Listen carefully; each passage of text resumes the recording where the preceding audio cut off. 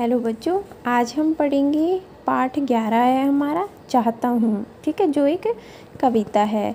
ये एक देशभक्ति कविता है, जिसमें कवि ने अपना सब कुछ भारत माता को और देश को समर्पित किया है। मातृभूमि से गहरा लगाव, भावुक कवि को उस पर तन, मन, धन न्यौछावर कर देने की प्रेरणा देता है। वो इतना लगाव अपनी मातृभूमि से इतना प्रेम करता है। ऐसा करने पर भी कवि की तृप्ति नहीं होती। तृप्ति मतलब उसको संतुष्टि नहीं होती और वह चाहता है कि वह मातृभूमि पर और कुछ भी न्यौछावर कर दे, कुर्बान कर दे। ठीक है तो चलिए हम अपनी कविता पढ़ते हैं।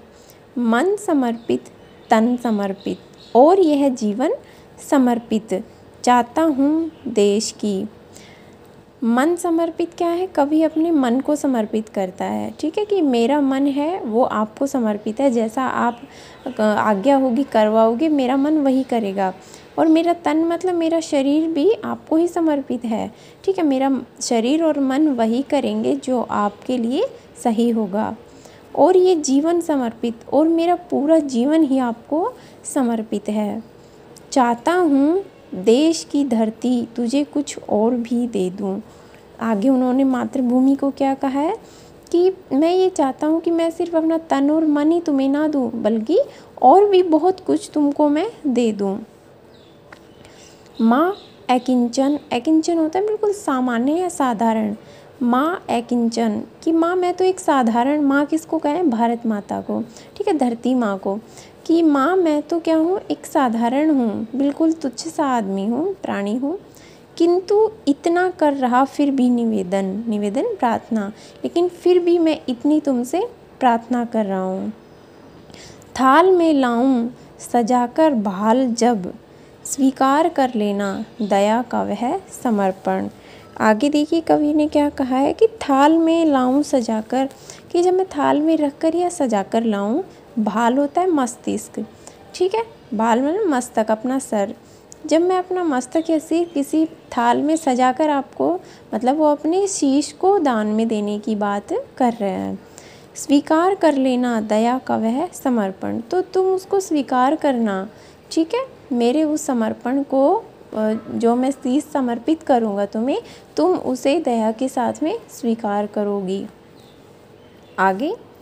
गान अर्पित, प्राण अर्पित गान मतलब मेरे जो गान है, गीत है, वो भी सब कुछ तुम्हें ही समर्पित है, मैं तुम्हें सौंपता हूँ। और मेरे प्राण भी क्या हैं, तुम्हें ही समर्पित हैं। रक्त का कण कण सम और मेरे शरीर में जो खून की बूंदें हैं, वो एक एक बूंद तुम्हारे लिए है, तुम्ही को समर्पित है। चाहता हूँ देश की धरती तुझे कुछ और भी दूँ। आगे क्या कहा कवि ने कि मैं तुम्हें और भी बहुत कुछ देना चाहता हूँ। देखिए, इतना सब कुछ देने के बाद भी कवि को संतुष्टि नहीं है, तृप्ति नहीं है। वो और भी बहुत कुछ देना चाहता है अपनी भारत माँ को। आगे, माँ, दो तलवार को लगाओ ने देरी। बाँध दो कसकर कमर पर ढाल मेरी। भाल पर मल दो चरण की धूल थोड़ी। शीश पर आशीष की छाया घनेरी। देखिए माँ दो तलवार को लगाओ न देरी। माँ मुझे तलवार दो तुम देर मत करो ठीक है?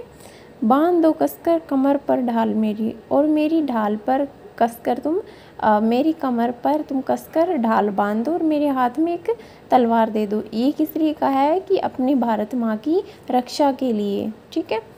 भाल पर मल दो चरण की भाल मतलब मस्तिष्क। मेरे मस्तिष्क पर मल दो मतलब लगा दो। चरण मतलब अपने पैरों की धूल मतलब धूल, ठीक है? और क्या करो, मेरे मस्तिष्क, मेरे माथे पर अपने पैरों की थोड़ी सी धूल लगा दो। शीश पर आशीष की छाया घनेरी। शीश मतलब सर। और मेरे सर के ऊपर आशीष मतलब आशीर्वाद। मेरे सर के ऊपर आशीष, आशीर्वाद की छाया, घनेरी बहुत सारी छाया इसका मतलब है मेरे सर पे तुम बहुत सारा आशीर्वाद दे दो, रख दो। आगे, स्वपन अर्पित, स्वपन मतलब सपने। मेरे सपने भी तुम्हें समर्पित हैं, तुम्हारे हैं। प्रसन्न अर्पित और मेरे जो प्रसन्न हैं, जो कुछ मेरे आपसे प्रसन्न है, वो भी सब कुछ मैं आपको ही सौंपता हूँ। आयु का क्षण क्षण समर्पित और मेरी ज़िंदगी का, मेरी उम्र का, मेरी आयु का प्रत्येक पल हर क्षण तुम्हें ही मैं अर्पित करता हूँ।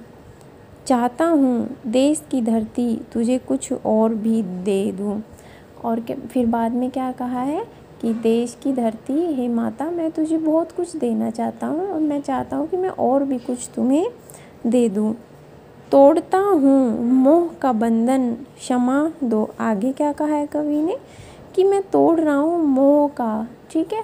मोह का जो बंधन है तुम्हारे साथ मेरा, किसके? अब ये अपने घर के लिए बोला है उन्होंने, कवि ने। अपने घर वालों को, के लिए ये लाइनें बोली है कि मैं आपसे अपने मोह का, जो लगाव का बंधन बंधा हुआ है, मेरा रिश्तों का बंधन है, उसको मैं तोड़ रहा हूँ।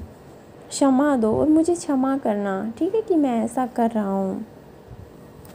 गाँव मेरे द्वार घर आँगन क्षमा दो। और अब कवि ने देखो किससे क्षमा मांगी है? अपने गाँव से क्षमा मांगी है। ठीक है अपने घर परिवार से क्षमा मांगी है। ठीक है कि मुझे तुम क्षमा कर देना मैं तुम लोगों से रिश्ता और मोह तोड़ रहा हूँ। क्योंकि मुझे अपनी भारत माता के लिए रहना है उन्हीं के लिए आ, काम करना है। आज सीधे हाथ में तलवार दे दो। और बाएँ हाथ में ध्वज को थमा दो सीधा हाथ मतलब दायां हाथ ठीक है? मेरे दाएँ हाथ में तो तलवार दे दो और बाएँ हाथ में ध्वज दे दो मेरे हाथ में ठीक है? मेरे देश का। ये सुमन लो। सुमन होते हैं फूल। ये फूल ले लो। ये बब चमन होता है बगीचा या उपवन ठीक है? तो ये पूरा बगीचा तुम ले लो। भारत आ, माता को मातृभूमि को कहा है कि हे मातृभूमि तुम ये फूल भी तुम्हारे हैं। जितने फूल लगे हैं सब कुछ तुम्हारे हैं। और ये पूरा बगीचा भी तुम्हारा है, इसे भी तुम ले लो। नीड़ का तृण तृण समर्पित, और नीड़ होता है घर, ठीक है? घर का तृण तृण का मतलब हो गया कोना कोना, तुमको ही समर्पित है। चाहता हूँ देश की धरती तुझे कुछ और भी दे दूँ। और आखिरी में फिर कवि ने क्या कहा है कि, हे धरती माँ, हे मातृभूमि, मैं चाहता हूँ कि तुम्हें बहुत कुछ मैं दे दूँ ठीक है? तो ये कविता थी आपकी। चाहता हूँ जो एक बहुत अच्छी थी। कविता है आ, तो इसको आप पढ़ोगे एक बार और इसका अर्थ समझोगे ठीक है? बाकी का अभ्यास आप प्रश्न उत्तर कॉपी में करोगे। धन्यवाद।